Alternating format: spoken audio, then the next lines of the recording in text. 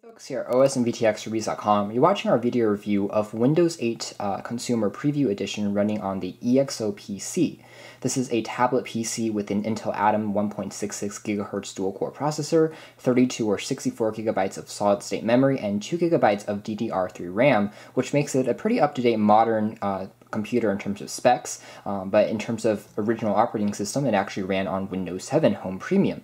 You might remember that a few months ago we reviewed the EXOPC iteration 2, which actually ran on MeeGo operating system, the same version in fact that the uh, counterpart running on, on Nokia's N9 did, um, but upgraded to Windows 8, the most up-to-date Windows operating system that supports touch in terms of multi-touch and all the gestures, it makes the EXOPC a lot better in terms of value.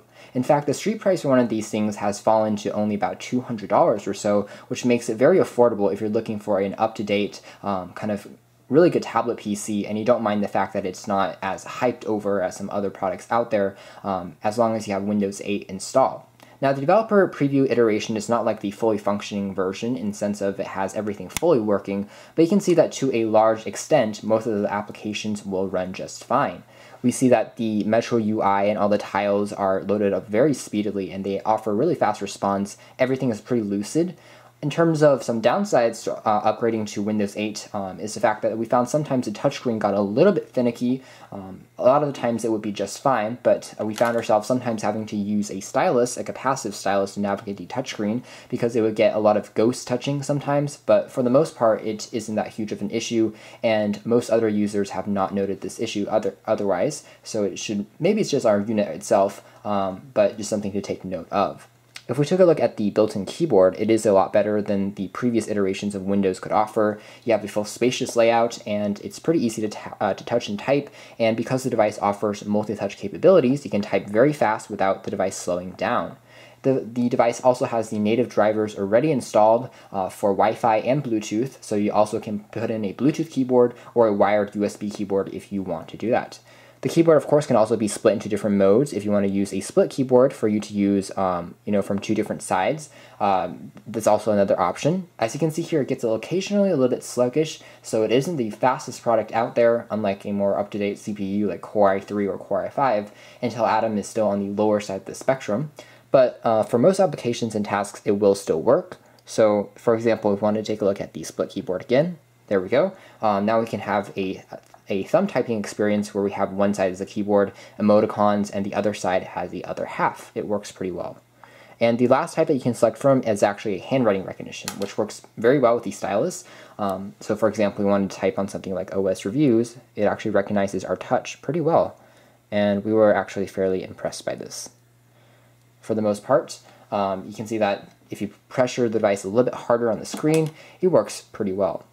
Now the Developer Preview Edition doesn't have all the applications up and running, but you have most uh, applications that are here. They include the store access, you have a music player, um, you have weather applications, some other clients on here. You also have the ability to multitask by sliding up a secondary task and putting it onto the side of the screen, and then you can open up and add, utilize two different applications at once, which is pretty impressive, and you can flick out to get rid of one.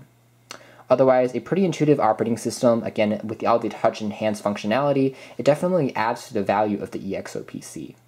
One area where the tablet kind of lacks is in web browsing, at least with the native built-in Internet Explorer app, which is not as good as Google Chrome or Firefox in terms of optimizing pages, and you can kind of see that how sometimes browsing the web gets a little bit clunky here and there, like I don't know why this zoomed in all the way here, um, and some errors here and there might be apparent, and also you might notice a little bit of lagging and stuttering when using the browser in this department.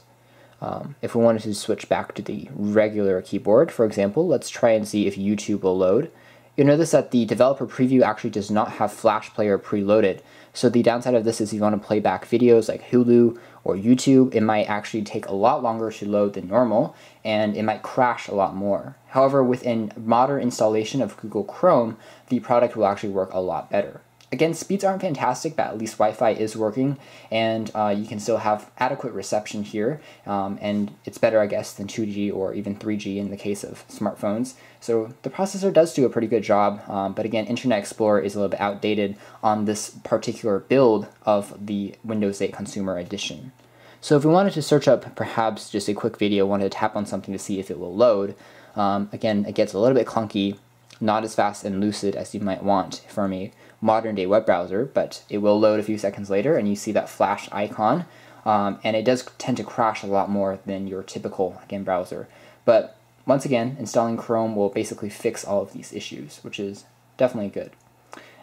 Overall, you also have the stereo speaker environment that you originally have on the tablet itself, so you do have pretty good music experience and music playback, which isn't that big of an issue. Um, and playing back MP3s, watching videos is still as enjoyable as ever, but you do have touch enhanced functionality.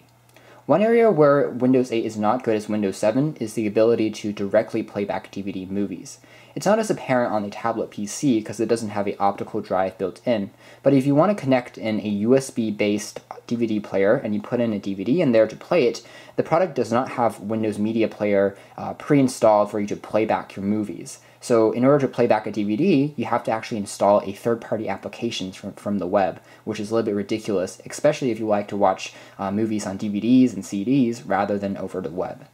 Overall, a pretty good experience. Again, everything else is pretty lucid and fast, and the device runs surprisingly nicely. Um, so if you're worried about upgrading the device or getting one with Windows 8 installed, I wouldn't say that it's a huge issue because it works fairly well. Um, everything works and everything is very responsive. You can see that you can use two fingers as well, supports multi-touch in that function, um, and you can also write with the stylus, which works pretty well um, additionally.